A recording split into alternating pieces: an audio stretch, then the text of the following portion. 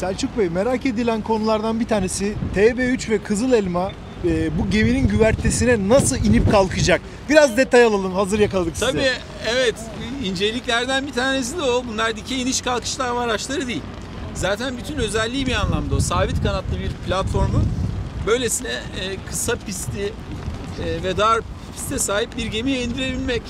E, bunu tümüyle otomatik bir şekilde yapacaklar. Biz hali hazırda bütün uçaklarımızı geliştirirken aslında bir anlamda e, bütün fizik kanunlarını simülatör ortamlarında modelleyerek yani e, aerodinamik kanunlarından tut- tutun da e, hareket denklemlerine bunun yanında e, maddenin diğer tüm fiziksel e, özelliklerini modelleyerek yani pistin kıvrımlarına kadar veya çıkıntılarına kadar modelleyerek aslında bir anlamda uçuşu e, daha henüz hava aracımız uçmadan garantiye alıyoruz. Yaklaşık bir buçuk iki senedir de e, özellikle e, sanal ortamda, simülasyon ortamında yani bir matematiksel alemde aslında Bayraktar TB3 gemiye on binlerce defa inip kalktı. Farklı rüzgar koşullarında, farklı dalga koşullarında ve bunu tümüyle tabii ki otomatik bir şekilde yapabilmesi gerekiyor. Bayraktar TB3'ten sonra da Kızıl Elma e, bunu inşallah yapacak. Oradan kazandığımız ayrıca tecrübi deneyimin de faydası olacak. Kızıl Elma daha süratli biliyorsunuz ve daha ağır bir platform. 8,5 ton ağırlığında olan bir platform Kızıl Elma ve 1,5 ton yük taşıyor.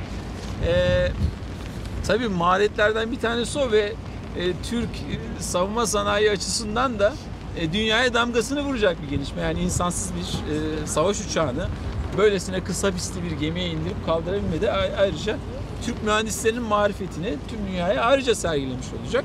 Ama e, bütün e, bu e, marifetlerle birlikte zaten büyük kuvvet çarpanları oluşuyor ve paradigma dönüşümleri yaşanıyor ve kırılımlar böyle oluyor.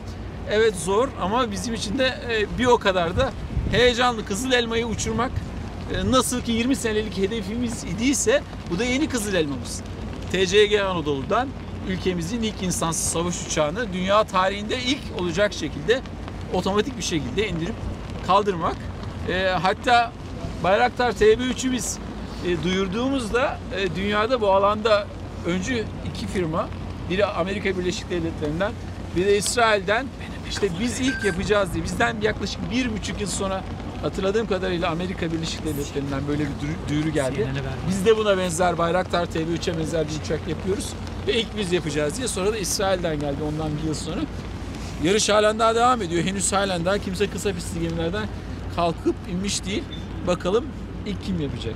Mancınık, katapult gibi donanımlarda gemi eklenecek mi? Ee, onların herhangi birine mancınık e, veya katapult gibi herhangi bir donanıma ihtiyaç duymadan Bayraktar TB3 kendi gücüyle kalkacak.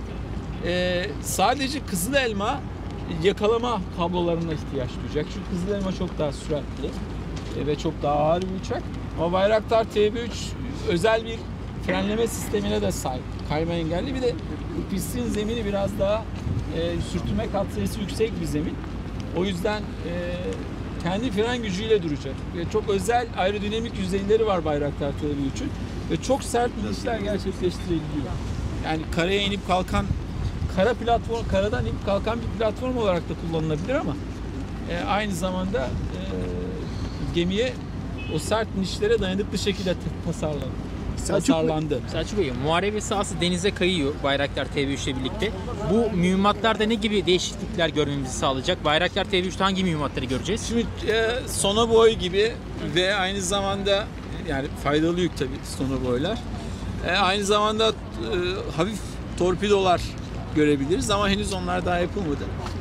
E, ama Türkiye'nin artık e, çok geniş bir mü- mühimmat ailesi var. Hafif seyir füzesi, e, kemankeş dediğimiz sistemi Teknofest'te tanıtacağız. Biz Baykar olarak geliştiriyoruz. Çok hafif TB3'ten atılabilecek e, birkaç yüz kilometre menzile sahip seyir füzesi yapılıyor. Bunlar yeni çağın dijital akıllı mühimmatları bir anlamda. Yani daha fazla yapay zeka ve akıllı otonomi algoritmalarıyla yorulmuş mühimmatlar. E, Türkiye tabii konvansiyonel akıllı mühimmatlarda da çok büyük yol ilerledi. Büyük e, neredeyse tüm mühimmat e, tiplerini üretiyor. Geniş bir mühimmat ailesine sahip artık. E, hepsini hem Bayraktar TB3'te hem Kızıl Elma'da görebileceğiz. Hatta Kızıl Elma ve Akıncı e, bugün F-16'nın attığı, taşıyabildiği tüm mühimmatları, insan, insanlı savaş attığı, e, taşıdığı tüm mühimmatları taşıyabiliyor.